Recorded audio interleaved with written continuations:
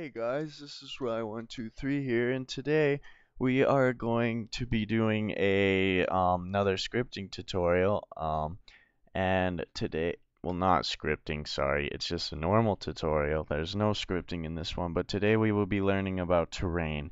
I didn't actually get a suggestion for this one, but I figured it's something everyone should know because it makes your game look pretty nice. Um, so, yeah, I was just messing around with it for a second, so let's wait for it to go away. So terrain is basically, here, let me just make a flat landmass.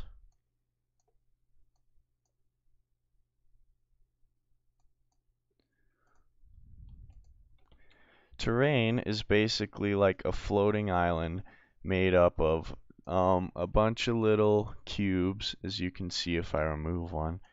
They're just little cubes. Um, and what it does is basically it just randomly generates a terrain for you. Now, there are ways to edit it, and we'll get into those in a second, but first, let me just show you the straight up generator. So this is the terrain generator. You can mess with the offsets, which basically means how far left or right you want it from the origin point, but that's not really important. You can edit the width and the length to make your floating island bigger or smaller. Amplitude is how crazy you want the mountains, and frequency is how often you want the mountains to occur. Base height is how tall the um, base of it is basically. Um, if you want mountains, you're gonna want to leave this pr pretty low. And water height is basically where you want the water at in your mountainous region. So let's go ahead and take a look at our terrain and see what it makes us. Um, it usually takes a second, so just give it a sec and it will eventually load. And yes, I'm totally stalling right now because I'm waiting for it to load.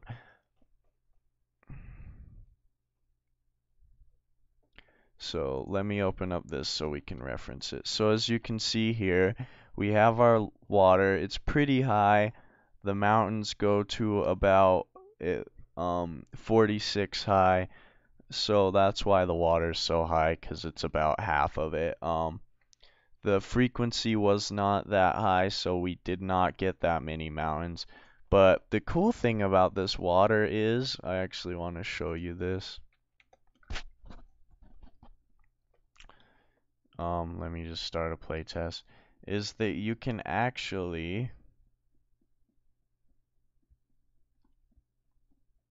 sorry, I'm walking really slow.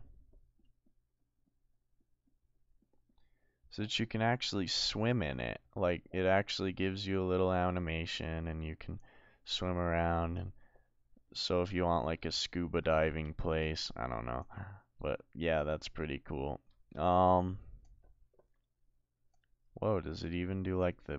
Wow, that's cool. It even has a little animation to it.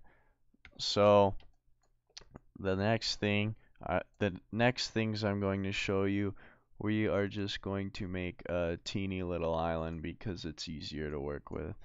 So let's take that down, take that down, make it smaller, um, no water, and let's do it fairly high. This is gonna look kind of funny. Yep, there we go. Alright. Um, sorry about that camera shake. I got a comment about shaking the camera too much.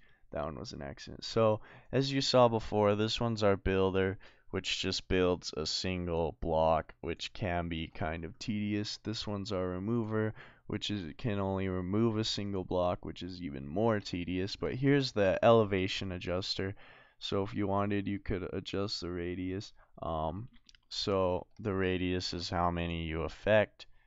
And as you can see here, we're moving it up and down. So you can make your own mountains. You can affect the slope as to how steep it is. As you can see, the little blocks on the side are straight up instead of our usual like kind of half curved. Um, so we could probably basically do almost the whole island. But yep, and then you can go down and make a giant crater. that's pretty useful in some games. Um, a brush, which basically it's like an easier way to remove and add terrain. So if I wanted to add on a second layer or whatever, or I could remove, I can edit the radius and how much I want to add on. The next thing is a crater, which does what it says, it makes a hole in the ground. You can edit the depth and the radius, just like always. It'll smooth it out for you. That's pretty cool. Um, next is roads. So what you do with roads is you click where you want to start and click where you want to end. And I know that doesn't really look like a road, but it basically helps you to make a road. I don't know how, but hey, that's just what it says. I don't know if I would ever use that. This one is a material brush. This is where it gets pretty cool. So let's say, um, yeah, let's say we made a mountain. Let's kind of make it look like a real mountain. That doesn't look like a real mountain, but whatever. And then we get the material brush and we want to paint it. So we'll click on this stony color. We'll make the size bigger and we can paint the mountain. We can also paint it water apparently. That works. There's Lego, red Lego, this other, I think that's still Lego, this rocky moss color, this weirdo, like checkered color, this color that looks like Minecraft gravel, this logs, um, kind of a brownie. I think it's supposed to be wood. Yellow, more gray, even more gray, some black. Oh, gray, brick, yellow, and back to grass. So, let's see if it'll let me undo all the way back down to where this is flat. Okay. So, um, two more things. We have the stamper, which will, um, I never really used this, so hold on. Um,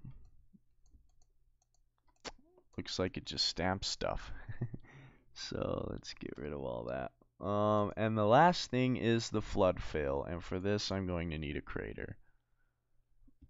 What flood fill does is it takes something like this and if you come over here and whatever level you click at, so let's click right here, it will fill it after some time. It may take a sec. But yeah, if you wanted to fill a crater with water or with Lego or whatever, I don't know why you would want to. I use it mostly for water. Ooh, that's cool. Look at that. Ooh, we're swimming. Okay. And that's pretty much it. However, I don't recommend using the flood fill up above because then it will fill up the whole map and it'll take forever. So stop. Stop. Okay. As you can see there. And it will just keep going until you tell it to stop. So that's it for um, today's tutorial. I hope you guys learned a bit about terrain and how to work it so you can make your place looking nice. Excuse me, just for kind of like an object example, I went ahead and pulled up a place I made. Um, this one isn't on Roblox, so don't go looking for it, but it's a Lord of the Rings place. Um, it's not even close to done as you can see, but over here in Hobbiton, I used the elevation feature to make the hobbit holes, as you can see. And over here in Rivendell, I kind of made it like a little valley with the waterfall coming down. That looks pretty cool. And then right here, I made some stone steps going up and out of it, which is pretty cool. I made huge mountain ranges, the Misty Mountains and stuff, even though right there's don't look like mountains. And then Moria, Moria was fun.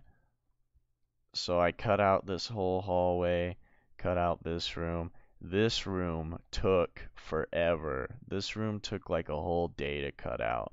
Then I cut out these stairs and then you can leave the mountain. And then I stopped. But anyways, so yeah, that's just a practical example of what you can use terrain for. I don't know why I use such a white color for the mountains. I think mountains are more gray, but anyways, that's it for this one, guys. Thanks for watching. Be sure to subscribe for more tutorials. Post a comment about anything you'd like to see scripted and or um, tutorialized.